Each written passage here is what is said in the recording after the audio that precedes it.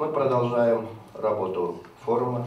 Сегодня говорят не только об историческом смысле культовых объектов, внимание к их духовному значению. Тема конференции – объекты религиозного наследия. В зале представители разных конфессий. Плечом к плечу здесь они обсуждают, как сохранить великое наследие прошлого. Уникальные храмы, мечети, синагоги и дацаны. Они не просто мертвые памятники, а живые свидетельства этой реальной картины многообразия нашей страны. Участников конференции приветствует духовенство республики и страны. С трибуны произносят слова приветствия патриарха Московского и всея Руси Кирилла и обращение Кирилла митрополита Татарстанского.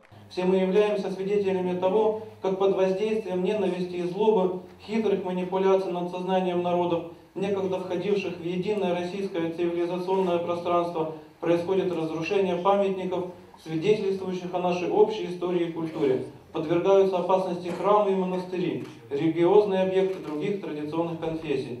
И наша общая задача противопоставить этой разрушительной деятельности свою созидательную. Участники конференции отмечают, история помнит много трагических моментов, когда храмы подвергались разрушению. Один из примеров приводит главный раввин республики. Чуть больше ста лет назад была закрыта единственная синагога в Казани. И только в 90-е решением Ментимера Шаймиева ее вернули общине, а в 2000-х при поддержке Рустама Миниханова она обрела свой исторический вид. Когда отняли синагоги в общину, это не просто был боль тех людей, которые тогда ходили в синагогу, им закрыли.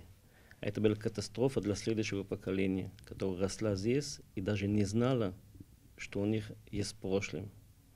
И когда вернули синагоги, и когда восстановили ее, это не только была радость, что можно прийти, это вдруг люди ощущали, что у них есть прошлое. Здесь подчеркивают, с религией связаны почти 20% всех признанных мировых объектов ЮНЕСКО. Три из них находятся в Татарстане. Как известно, именно Казанский Кремль стал первым объектом республики, включенным в список ЮНЕСКо. Но, как сегодня вспоминают непосредственные участники событий тех дней, а главным и решающим фактором стала как раз религия. Экспертов восхитили находящиеся в комплексе церковь и мечеть. Нигде и никогда в мире они не стояли так близко.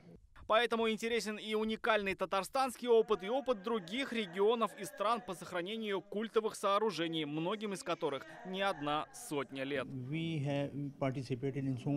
были участниками многих конференций, особенно в Европе, но впервые мы собрались в Казани. И мы чувствуем, что для всех нас открываются новые коридоры для общения. Мы можем услышать много разных мнений, провести насыщенные дискуссии. Это очень и очень важно.